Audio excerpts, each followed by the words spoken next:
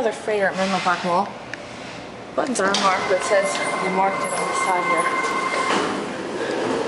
This one's behind the food court. I don't know why I'm going for.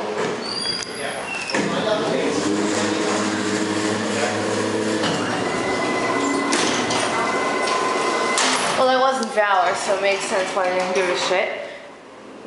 Oh my god, is this traction? Nah, I doubt it. It can't be traction.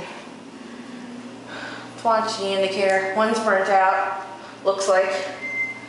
It's also 6,000 capacity. Phone's different. It's an Adams phone. There's no giant please close door sign. Let's see if we can go up to two without opening. Awesome. And it's hydro. I'll give you a cab while we're moving. 6,000. By the way, Steven, make sure you hold it in. I'll demonstrate that for you. As long as there's no uh, Valor Security Services back here. And again, it is Valor Security Services. It's not Allied Barton here. As you can see, we're right behind it. Oh, you have to hit the door open. Haley! Haley? See, Steven, they actually have to hold it in.